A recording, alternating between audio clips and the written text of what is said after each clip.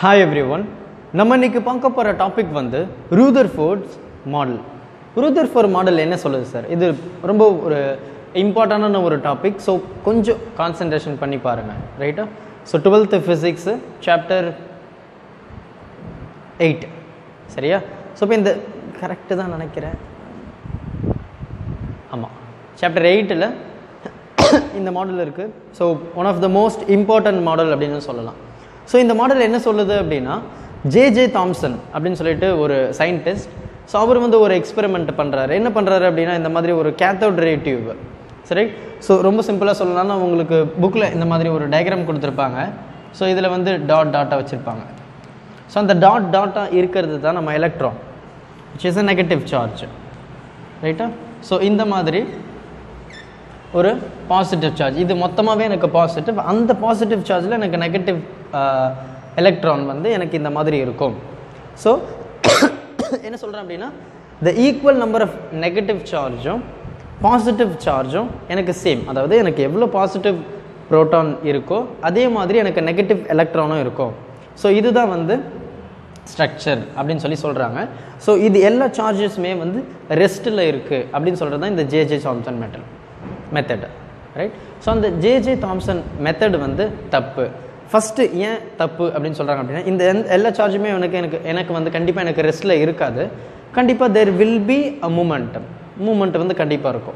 So அப்போ அப்படின்ற கேஸ்லேயே இது ஃபஸ்ட்டு காலி இந்த எக்ஸ்பெரிமெண்ட்டு செட் ஆகாது அப்படின்னு முடிவு பண்ணிட்ட பிறகு ரூதர்ஃபோருடைய அசிஸ்டன்ஸ் ரைட் ஸோ அவருக்கு அவருக்கு ஒர்க் பண்ணுற அசிஸ்டன்ஸ் என்ன சொல்கிறாங்க அப்படின்னா இந்த ரூதர்ஃபோர்ட் மாடல் வந்து கீகர் அண்ட் மாஸ்டன் இன் நைன்டீன் லெவனில் ஒரு எக்ஸ்பெரிமெண்ட் பண்ணுறாங்க ரொம்ப ரிமார்க்கபிள் எக்ஸ்பெரிமெண்ட் அப்படின்னு சொல்லலாம். ஒரு தனிச்சிறப்புடைய எக்ஸ்பெரிமெண்ட் அப்படின்னா இது அப்படின்னு சொல்லலாம். என்ன சொல்லியிருப்பாங்க அப்படின்னு ரொம்ப ரொம்ப ரொம்ப ஒரு சிம்பிளான ஒரு எக்ஸ்பெரிமெண்ட் தான் இந்த மாதிரி ஒரு லெட் பிளாக் பாக்ஸ் மாதிரி இருக்குது அந்த பாக்ஸ் வந்து is made up of a lead ரைட்டா அதுக்கு உள்ளே வந்து பொலோனியம் சாம்பிள் வச்சுருக்காங்க. It's a radio active substance இந்த ரேடியோ ஆக்டிவ் சப்ஸ்டன்ஸ் என்ன பண்ணும் அப்படின்னா அன்ஸ்டேபிள் ஆகும்போது எனக்கு ரேடியேஷன் வந்து ரிலீஸ் ஆகும். என்ன மாதிரி ரேடியேஷன் ரிலீஸ் ஆகும்? ஆல்ஃபா பீட்டா அண்ட் கமா ரைட்டா ஸோ ஒரு ஸ்டேபிளாக இருக்கிற ஒரு சப்ஸ்டன்ஸ் ரேடியோ ஆக்டிவ் வந்து எனக்கு அன்ஸ்டேபிளாக ஆகும்போது எனக்கு மூணு விதமான ரேடியேஷன் வந்து க்ரியேட் ஆகும். ஒன்று வந்து ஆல்ஃபா இன்னொன்று வந்து பீட்டா இன்னொன்று வந்து கமா ஸோ அதெல்லாம் தெரிஞ்சுக்கோங்க. அது எப்போ அன்ஸ்டேபிள் ஆகும் அப்படின்னா ஒரு நியூட்ரான் அதில் பாஸ் பண்ணும்போது அன்ஸ்டேபிள் ஆகிடும் சரியா?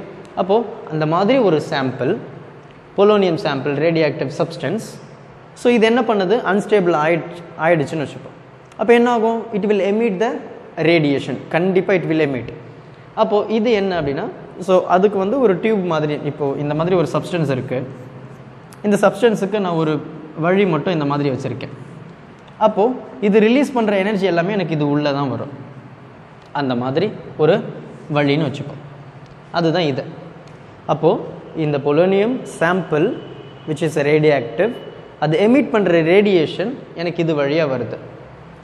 அந்த ரேடியேஷனை நான் ஆல்ஃபா அப்படின்னு சொல்கிறேன் ஆல்ஃபா அப்படின்னாவே பாசிட்டிவ் சார்ஜ் தான். ஞாபகம் வச்சுக்கோங்க.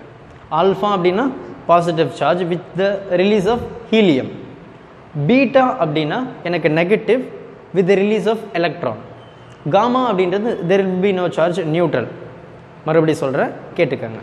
ஆல்ஃபா வந்து positive charge will emit helium beta அப்படின்றது negative charge will emit electron gamma வந்து நோ சார்ஜ் ஓகேவா ஸோ அந்த மாதிரி இருக்கும்போது எனக்கு ஆல்ஃபா பார்ட்டிக்கல் மட்டும் எமிட் ஆகுதுன்னு வச்சுப்போம் which is a positive charge அப்போது இது வழியாக வருது. நான் இங்கே லெட்டு ஸ்க்ரீன் வச்சுருக்கேன். ஏன் சார்? எனக்கு இங்கேயும் லெட்டு இங்கேயும் லெட்டு ஏன் யூஸ் பண்ணுறோம் உங்களுக்கு தோணுச்சுன்னா அதுக்கு பதில் நான் சொல்கிறேன் இந்த ரேடியேஷன் வந்து எனக்கு இந்த லெட்டால் நிறுத்தப்படும் ஸ்டாப் ஆகிடும் பெனிட்ரேட் பண்ண முடியாது. அதாவது துளைச்சி போக முடியாது. அப்போ எனக்கு ரேடியேஷன் இதில் பட்டுச்சுன்னா எனக்கு இதுலேயே நின்றோம் ஷீல்டு மாதிரின்னு வச்சுப்போம். அப்போ இந்த லெட்டு ஷீல்டு வந்து என்ன பண்ணும் இந்த லெட்டு வந்து என்ன பண்ணோன்னா இந்த ரேடியேஷனை ஸ்டாப் பண்ணும். எந்த எந்த பக்கமே வந்து செதற சிதற விடாமல் அப்போ எனக்கு இந்த மாதிரி ரேடியேஷன் வருது. கரெக்டாக இந்த ஹோல் வழியே எனக்கு ரேடியேஷன் வந்து வருது. Alpha particle which is positive charge அப்போது இந்த பாசிட்டிவ் சார்ஜ் வந்து ஒரு கோல்டு ஷீட்டில் படும்போது என்ன அவங்க பார்க்குறாங்க அப்படின்னா இதுதான் முக்கியமான பாயிண்ட்டு நல்ல கிளியராக கவனிங்க. ஒரு ஆல்ஃபா பார்ட்டிக்கல் வந்து எனக்கு இந்த கோல்டு ஃபாயிலில் படும்போது அவர் என்ன நோட் பண்ணுறாரு பை யூஸிங் மைக்ரோஸ்கோப்பில் அவர் பார்க்கும்போது அவர் என்னெல்லாம் நோட்டீஸ் பண்ணுறாரு அப்படின்னா எனக்கு ஆல்மோஸ்ட் நைன்டி பர்சன்டேஜ் எனக்கு ஸ்ட்ரெயிட்டாக போயிட்டு இந்த ஸ்க்ரீனை ஸ்ட்ரைக் ஆகிடுது இந்த ஸ்க்ரீன் வந்து is made up of a zinc sulphate ZNS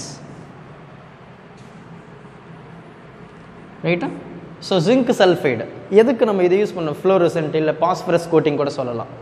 என்ன அப்படின்னா ஒரு ஃபாஸ்ட் மூவிங் சார்ஜ் வந்து இந்த ஸ்க்ரீனில் படும்போது எனக்கு ஒரு ஸ்பார்க் வந்து க்ரியேட் ஆகும். ஒரு ஒளி மாதிரி.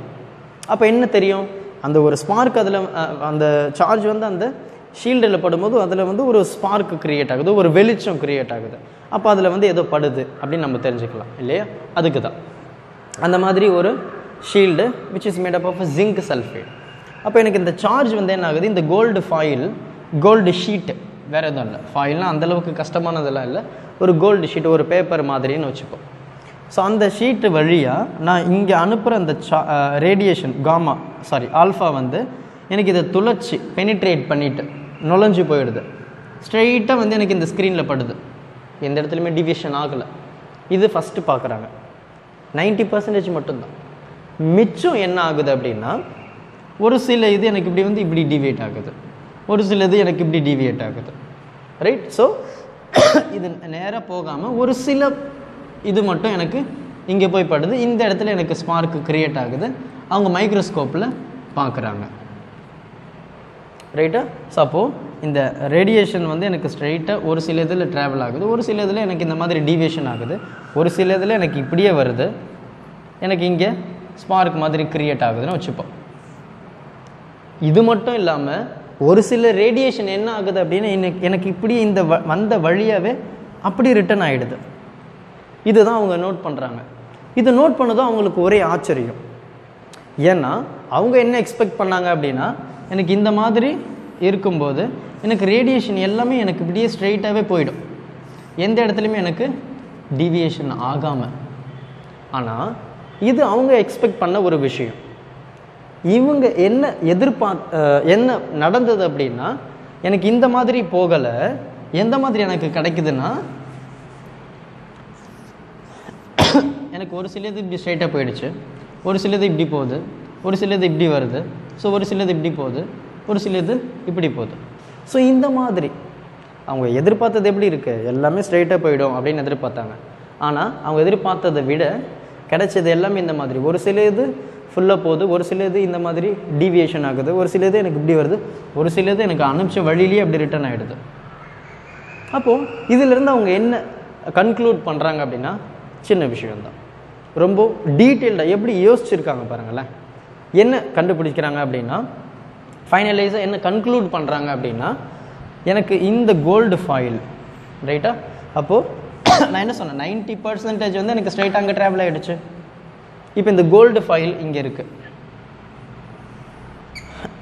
ரைட்டா ஸோ இதில் வந்து it is also made up of atom இல்லையா?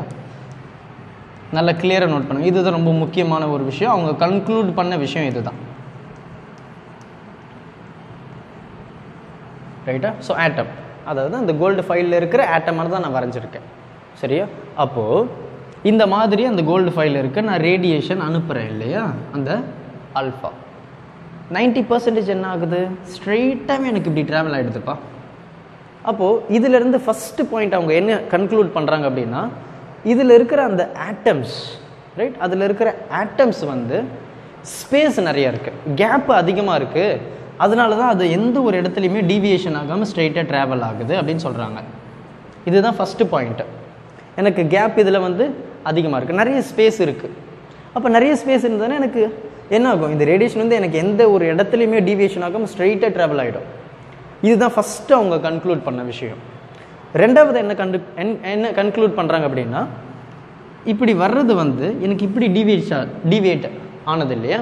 ஸோ அப்போ அதுலேருந்து என்ன சொல்கிறாங்க எனக்கு இந்த மாதிரி ஒரு ஸ்ட்ரக்சர் இந்த ஸ்ட்ரக்சரில் எனக்கு உள்ளே இருக்கிறது அந்த நியூக்ளியான்ஸ் நம்ம சொல்லுவோம் இல்லையா? அதாவது புரோட்டான் ரைட் ஸோ அப்போது இந்த மாதிரி இருக்குமே எனக்கு நிறைய ஸ்பேசஸ் இருக்குது அதனால எனக்கு ஸ்ட்ரைட்டாக ட்ராவல் ஆச்சு. இது ஃபஸ்ட்டு கேஸ் ரெண்டாவது கேஸ் என்னென்னா எனக்கு இந்த மாதிரி டிவியேஷன் ஆகுது.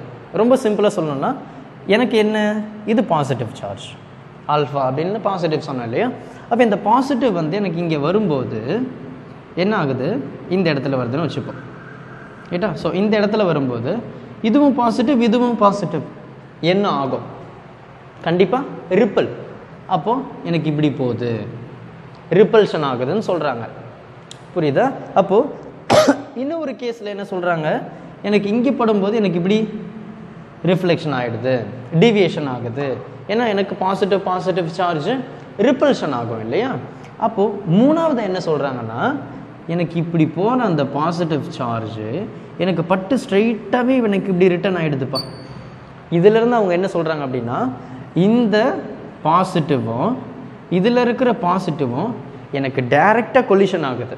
நேருக்கு நேரம் மோதும் போது என்னாகும்? அப்படியே எனக்கு ஆப்போசிட்டாக ரிப்பல் ஆகுது. அதனால தான் எனக்கு இப்படி வருது. ஸோ இதிலேருந்து அவங்க ஃபைனலாக என்ன சொல்ல வராங்க எனக்கு கேப்பு நிறைய இருக்குது எனக்கு இப்படி டிவியேட் ஆகுது. ஒரு சில இது எனக்கு வந்த வழியிலேயே இப்படி போகுது. இப்போ வந்த வழியிலே போதும் டைரக்ட் கொல்யூஷன் ஆகுது. இந்த இடத்துல எனக்கு இப்படி போகுது. ஸோ இந்த கேஸ்லலாம் பார்த்தீங்கன்னா எனக்கு ஸ்ட்ரைட்டாக இப்படி ட்ராவல் ஆகிடும் because it has more space ரைட்டா ஸோ இப்போ ஜேஜே தாம்சன் என்ன சொன்னார்? எனக்கு இந்த மாதிரி இருக்குது இதில் எலக்ட்ரான் சார்ஜ் வந்து எனக்கு இந்த மாதிரி டிஸ்ட்ரிபியூட் பண்ணியிருக்காங்க. வாட்டர் மில்லன் அப்படின்னு சொல்லியிருப்பார். இந்த மாதிரி எனக்கு டிஸ்ட்ரிபியூட்டாக இருக்குது ஆனால் எனக்கு இது பாசிபிள் இல்லை தம்பி. எனக்கு என்ன இருக்குது எனக்கு மொத்தமாக ஒரு இடத்துல அக்யூமுலேட் ஆகியிருக்கு எனக்கு இந்த மாதிரி ஈக்குவலாக டிஸ்ட்ரிபியூட் ஆகலை.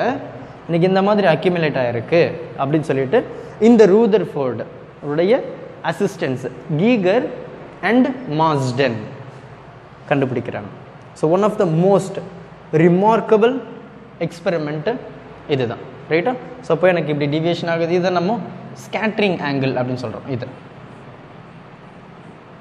சரியா? ஸோ அப்போ இது எப்படி? எனக்கு zero to one eighty degree வரைக்கும் இது ட்ராவல் ஆகுது அப்படின்னு சொல்கிறாங்க அதாவது ஸ்கேட்டர் ஆகுது. ரைட்டா ஸோ இதுதான் ரூதர் ஃபோர்டு எக்ஸ்பெரிமெண்ட் ஸோ பொறுமையாக பாருங்கள் கண்டிப்பாக நீங்கள் இது தெரிஞ்சுக்க வேண்டிய விஷயம்தான். சரியா? ஸோ ரூதர் ஃபோர்ட் மாடல் இதுதான் சொல்லுது. ரைட் ஸோ டவுட்ஸ் எதனா இருந்தது அப்படின்னா கமெண்ட் பண்ணுங்கள் thank you help others with a smile